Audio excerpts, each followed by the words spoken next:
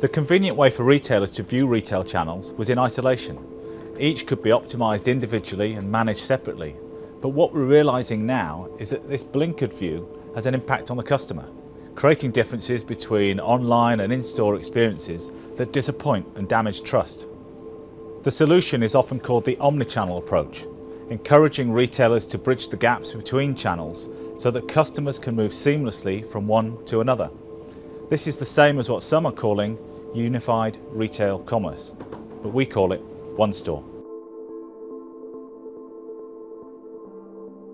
Well, we believe five key topics describe how retailers can take a one-store approach. Store mobility is about empowering staff with mobile devices to make operations more efficient through improved stock visibility and communication. Delivery has changed dramatically. To meet customers' same-day delivery expectations, retailers need to have visibility of stock in every location and use it to get products to customers as quickly as possible. That's made up of two main areas, communication and information. Technology facilitates better communications between channels, stores and staff, and it has the power to make information available to staff and customers in the moments that matter. First of all, enterprise class handheld devices can speed up and improve the accuracy of inventory, making sure that stock information is always visible and always correct. The other is guest Wi-Fi.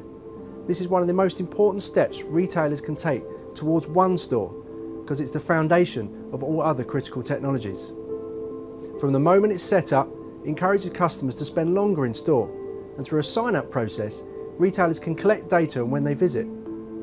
With indoor location technology, organisations can even gain further insight from the journeys they take after they arrive. Innovative payment options and personalised loyalty rewards are just a couple of ways that bricks and mortar retailers can delight customers, giving them a reason to come back. Building a business around the consumer is also an excellent way to build trust in the brand. This trust is the cornerstone of a stronger relationship, opening the door to connect with customers through personalised inbound marketing. The fact is, the consumer has changed. Shoppers want a more connected experience. They want to move from device to store and back to device seamlessly.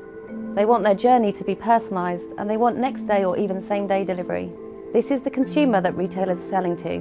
One Store is about meeting these expectations through the structure of the retail organisation.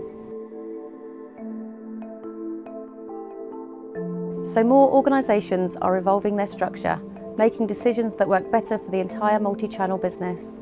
Some retailers are also creating new roles in order to push for the right customer experience. So we're seeing more innovation managers, customer experience officers and CX consultants.